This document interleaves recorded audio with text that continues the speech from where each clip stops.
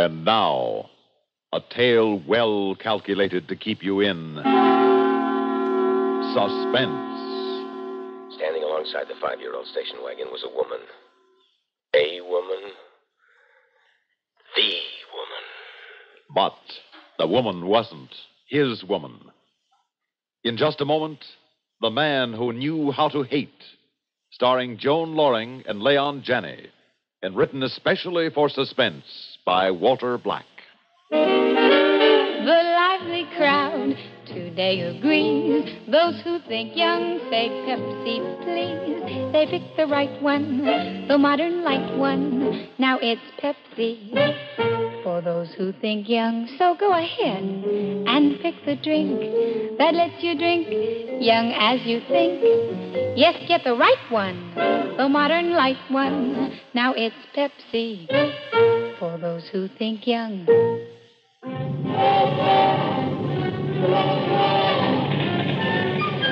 Well, let's see where the Yankees lost again. Hmm. The Yankees, they, they lost again. That's three in a row. Oh. Now, you take the Tigers for a change. They got a well rounded ball club. Tigers, Yankees, a stupid slob. Baseball's probably his whole life. And what's mine? Hate. Well, why not? It's a good, honest emotion. You can feed on it, live off it. And you never get enough. Better than love. It dries up. So does lust. Lust ought to rhyme with grace. And hate ought to rhyme with Albert. Miserable, penny pinching, mousy Albert. First time I saw him, we were on the 509 to High Lawn. I was sitting next to him, and he was marking down things in a little 10 cent store notebook. Totaling up your racetrack winnings? What? Oh, oh, you, you mean this? Oh, no, no, no. I was just marking down my daily expenses. That way I keep track, you see. Sounds like fun. Oh, you'd be surprised how one's expenses can mount up if they're not constantly checked. Lunch, for instance. Unless I keep it down to 90 or 95 cents, my daily expenses can go over three or three and a half dollars. That much? huh? Oh, easily, yes. Uh, I'm Albert Larrabee. Pete Friendly. Well, that's my station. Excuse me, Mr. Friendly. Relax, it's mine, too. Oh, I didn't realize we were neighbors, so to speak. What a creep. I made a mental note to avoid him in the future, but I tore it up when I saw who was waiting for him. He made a beeline for a five year old station wagon. Standing alongside it was a woman. A woman. The woman. Red hair and sexy figure and everything else any man would ever want. It was eyes right for every commuter passing by. I stood there. Her eyes slid over me, stopped, slid back. My mouth felt dry. I knew the symptoms. Oh, brother, did I know the symptoms. I had to meet her. Touch her. Oh, Mr. Friendly, I'd like you to meet my wife, Grace. His wife. It had to be a joke. A woman like that? I, I walked over to the car. We shook hands. I. I felt the contact. So did she, I could tell. I'm very glad to meet you, Mr. Friendly. The name's Peter. Peter. Mine's Grace. Well, can we give you a lift? Hmm? No, no, thanks. My, uh, my car's up in the lot. Your wife doesn't use it during the day? My ex-wife can't afford a car on the alimony she's into me for. Oh. I'm sorry. Don't be. We hated each other. And all the time I was wondering what she was doing with that little creep. How could she even talk to him for five minutes without dying of boredom? I had to get to her. The easiest way was by being friendly with Albert. Two days later in the drugstore, I gagged down a part of a glue sandwich that was advertised as egg salad and watched him munch away on lettuce and cottage cheese, just like a five foot six inch rabbit. Munch, munch, munch. Ah, uh, something wrong with your sandwich, Peter? I'm not hungry. Well, this place is quite a find, you know. 70 cents for the salad plate. Hmm. Your wife a good cook? Oh, well, frankly, I do most of my own cooking. Yeah? You see, I'm a diabetic, and a lot of things are forbidden to me. I can't eat just anything. Sorry to hear that. Oh, don't be. As long as I take my insulin, I'm fine. But it does limit the menus at home, so Grace usually fixes something for herself, and I do the same for myself. She's the intellectual type, you know. She paints and takes evening classes at the library. She's very interested in art. I'll bet. Especially if art is a man. What was I feeling so superior about? This creep lived with her. I didn't. A week later, I took him out to a local inn. Albert had vegetable juice. Grace and I had four martinis apiece and played kneesies under the table. My chance came after dinner when Albert went to bring the car around. I've got to see you, Grace. Yes, I know. I'm going crazy thinking about you. When? Tomorrow noon at my place. I'll stay home from work. Noon tomorrow, darling.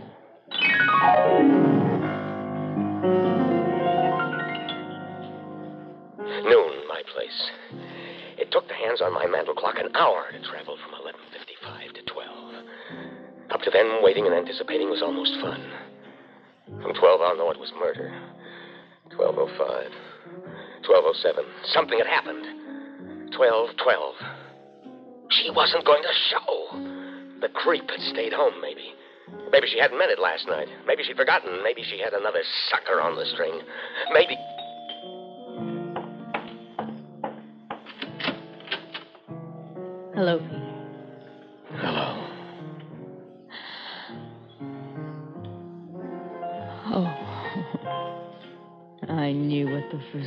Feel like. I just imagined. Well, Truth is greater than fiction.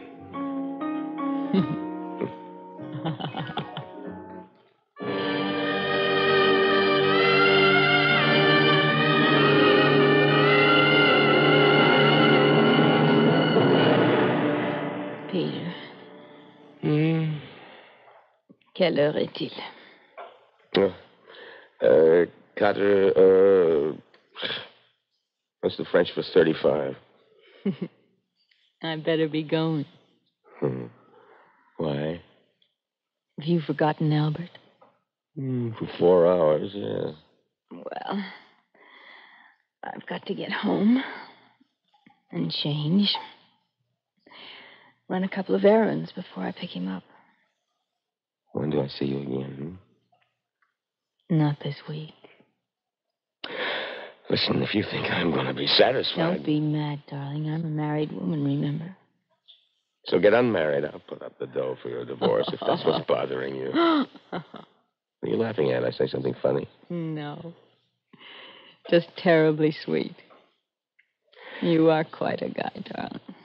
And you're all the woman I ever wanted. There's something you don't understand, though. I can't leave Albert. Why? He's short and bald and a hundred years older than you. And the way he pinches every penny until it turns green, you certainly aren't sticking with him for his money. Aren't I, darling? Peter, every week for 21 years, Albert has taken exactly 10% of his salary check, right down to the exact penny, and invested it in the stock market. You're kidding. Sometimes he buys, sometimes he sells, but always he reinvests. Good times, bad times, every week without fail, 10% of his paycheck has gone right into the kitty. He doesn't believe in banks, you see, or life insurance for saving money. he even kept it a secret from me until about two years ago. Hmm. How much has he sold it away? One hundred and thirty-three thousand dollars. A hundred grand. A hundred and thirty-three grand. And that was back in March. So you see why I'm So upset, Pete. You've turned my safe little world upside down. there is another way. What do you mean, baby? I mean, there is another way to be free of Albert and keep the money. You mean what I think you mean? What do you think I mean, darling? Murder. Oh, no. Accidents happen every day. Well, don't they? an accident. of course. All we have to do is figure out what kind of an accident's going to happen to Albert.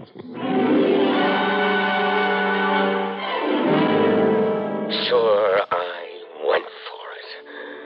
I had to have her, and the darling only made it more urgent. So don't go moral on me. A week went by. The longest I ever suffered through, and then she called. We made a date in Midtown New York at a French restaurant where they never heard of cottage cheese or egg salad sandwiches. You're staring at me, Peter. Do you realize how long it's been? Mm. Eight days, less 30 minutes. Well, maybe you can stand it, but I can't. You'll have to, darling. From now on, we're just casual acquaintances. You're crazy. No, you are if you think I'm going to jeopardize our chances. Oh, darling, don't pout. After the funeral, I'll move away to Florida, California. And in a couple of weeks, you can join me. You talk as if he were already dead. Why not? After tomorrow morning, he will be. Tomorrow?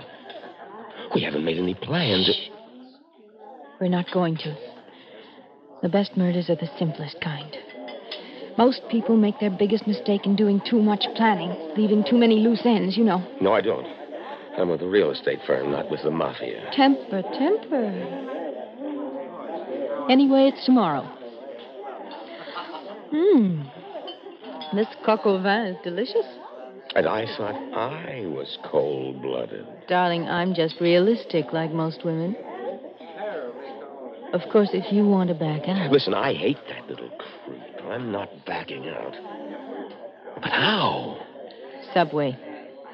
You both take it every morning from the station. Yeah, but I go uptown, he goes downtown. Tomorrow, you both go downtown. Make up a reason. And be sure you're on the platform with Albert.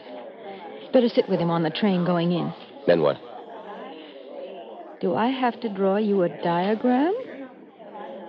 The subways are jammed at rush hour, aren't they? It's a wonder more people aren't shoved over the edge of the platform. But listen, whatever you do, don't be obvious. Pretend to buy a paper and leave. And then just as you do, keep coming.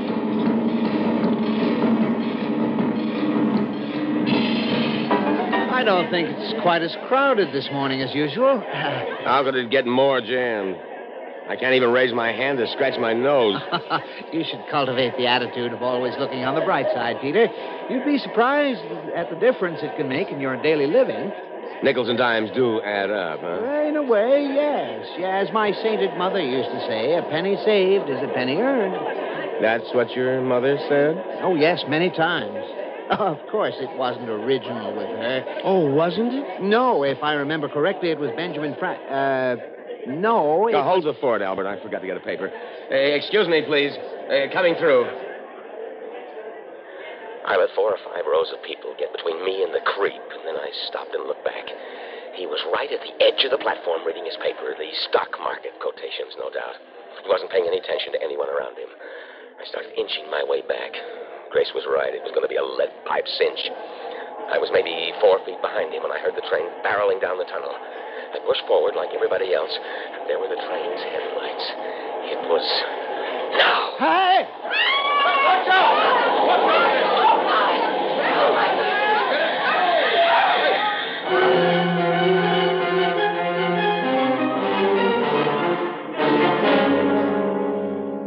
The simplest thing in the world, and you botch it. I did everything just the way I was supposed to. It's not my fault the train stopped in time. Yes, it was. You pushed him too soon. All right, all right. Just lucky Albert's so unsuspecting. Well, what'd he say?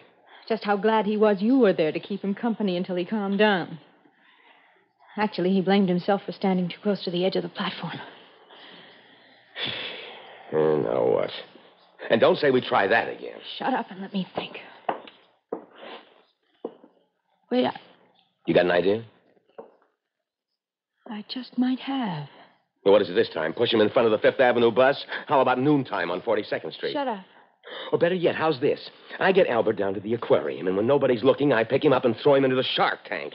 He looks enough like a shark himself with that pointed nose. Of course, he might last for a day or two, but eventually the sharks would Wait gobble minute. him up. Wait a minute. Why didn't I think of that right away? Hmm? It's been there all along, staring me in the face. What, the sharks? Shut up and let me think a minute. You really have come up with an idea? You're darn right I have. Foolproof, too, darling. What? Never mind. The less you know, the better off we are. And this time, I'll do it.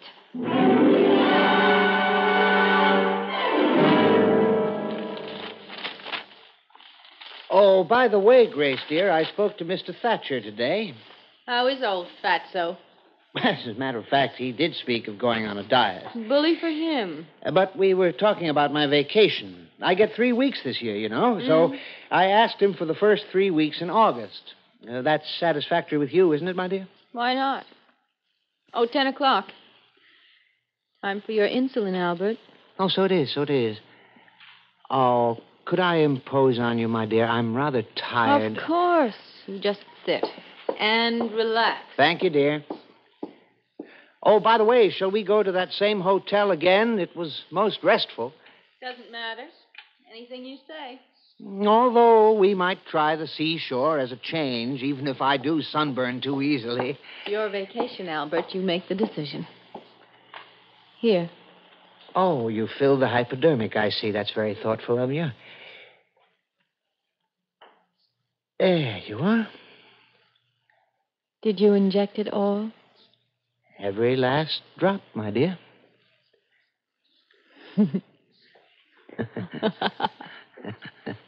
I was just thinking of something amusing. what an odd coincidence. So was I.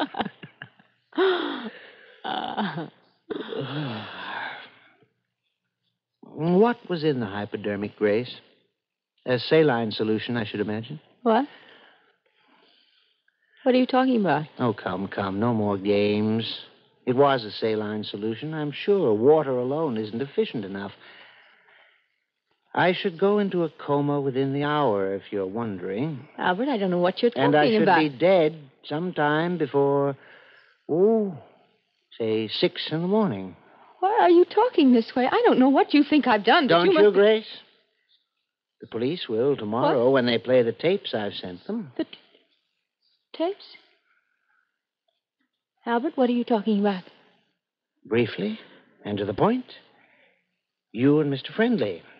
Mr. Friendly? White mouse I may be, and to some even a creep. What? But no one has ever accused me of being deaf, dumb, and blind. What are you... I know you, Grace. I can read you like a book. A nasty, dirty book. Albert, what... I know why you've stayed with me. I know what you think of me. Odd, isn't it, that you've never known what I think of you? Albert, I thought we... Spare me. I've loathed you for a long time. I've loathed you for your mean little soul and your petty mind and. You... Yes, for your beauty, which was never mine. And I think I've loathed you most of all because I still loved you. Albert? I've had private detectives working for me since the day you first set eyes on Mr. Friendly. You... They're the ones who, uh, what's the expression? Uh, bugged his apartment. Oh. Very interesting listening, Grace. Of course, I must admit the subway was a surprise, and so messy, too. I knew you'd revert to this. Oh, Albert. You're. You're even attractive when you cry. Oh, one more surprise, my good wife. Had you possessed the patience to wait another six months, at the most a year, all that money would have been yours legally. What? My last little secret. You thought I'd been going to the doctor only for diabetes? Uh, alas, no. Cancer. Dread word, isn't it? We discovered it two years ago. Oh. No, I haven't suffered any pain yet. I'm told that comes only in the final stages. Oh, that's what I couldn't face. Oh. So, thank you very much for your assistance. Albert, couldn't we just once more try no, to ma- we couldn't. Now, would you leave me alone? Oh. The condemned man is supposed to get his last wish, and mine is really quite simple. I don't want to look at you again. Never.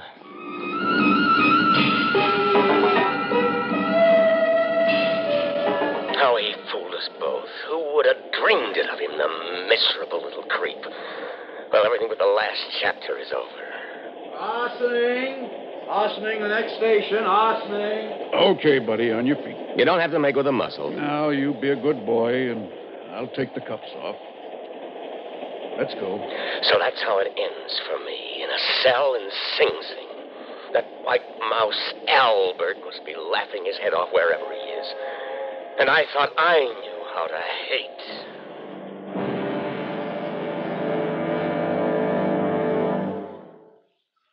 Suspense. You've been listening to The Man Who Knew How to Hate, starring Joan Lorring as Grace Larrabee and Leon Janney as Peter Friendly, and written for suspense by Walter Black. In a moment, the names of our players and a word about next week's story of Suspense. Mommy, Mommy, I scraped my elbow. Oh, dear, you ought to be more careful. Wait, I'll get the unguentine. But, Mommy, isn't that for burns? Sure, but unguentine's wonderful for scratches, too, and for cuts and scrapes. As well as burns, science has proved that unguentine boosts nature's healing power as no plain antiseptic can. Forms a protective cover to lock out germs and speed healing. Stops the hurting, too. See, it's not just for burns. And now there's something new Unguentine First Aid Spray. Looks like a fire extinguisher, but inside is special unguentine medication that puts out pain, kills germs, and starts healing fast as you spray it on. Cools and soothes sunburn on contact. Get both Unguentine First Aid Spray and Unguentine Antiseptic Dressing that boosts nature's healing power.